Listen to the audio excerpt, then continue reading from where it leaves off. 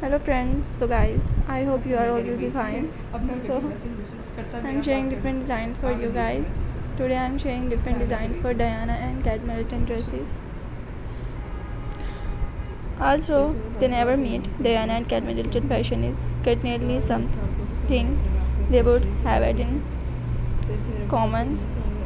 From regal evening wear to formal ensembles the pair share a neck for cheek and impeccable dressing.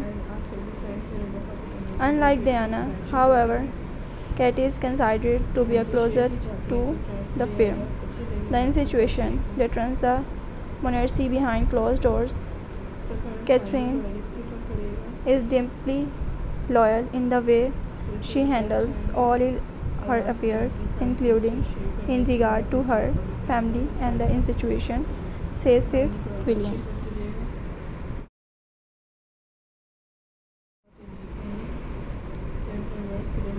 Princess Diana iconic purple velvet dress has been sold for $600 at an auction on Friday.